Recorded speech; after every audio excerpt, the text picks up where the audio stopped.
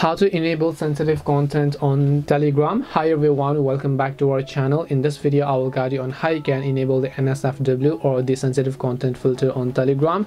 So make sure to watch the video till the end. If you want to turn on sensitive content because by default telegram is going to disable all the sensitive contents to you. And if you want to enable it what you have to do is you will not be able to do it from the telegram app because the telegram app has very limited features and you will also not be able to do it from the telegram website on your browser. So what you want to do is you have to open the browser on your phone itself.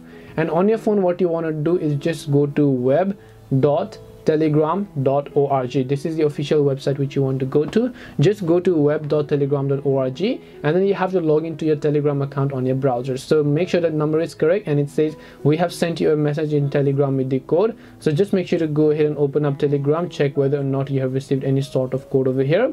Others what you can do if you didn't receive it you can just tap on this option here and then go ahead and select the number manually and then retype them again here. Once you actually retype them again just tap the arrow option here and then now you can see it says we have sent you a message in telegram.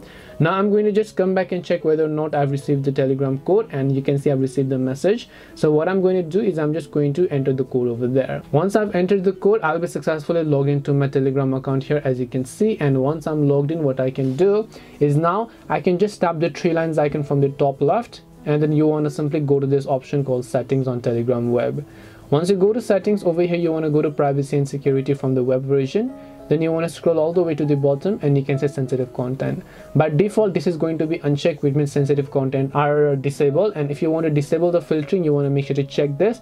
And telegram will not filter you any type of content next time. So this way you can go ahead and then actually enable sensitive content on telegram. Hope this video was very helpful to you guys and if it did help you make sure to leave a like and subscribe to the channel. If you have got any more questions then feel free to leave them down below. Thank you very much for watching till the end of this tutorial and see you soon in the next video.